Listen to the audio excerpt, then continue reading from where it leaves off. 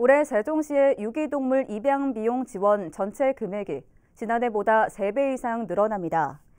세종시는 보호 중인 유기동물 입양 기회를 늘리고 더 많은 시민들에게 혜택을 제공하기 위해 사업 예산과 범위를 지난해 600만 원 40마리에서 올해 2,250만 원 150마리로 전년 대비 3.75배 이상 상향 추진한다고 밝혔습니다.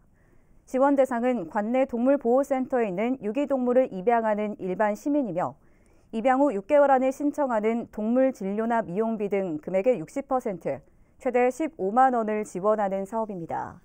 한편 지난해 세종시 지정 동물보호센터에서 구조 또는 보호한 동물은 총 537마리로 이 중 266마리가 새로운 주인의 품으로 입양됐습니다.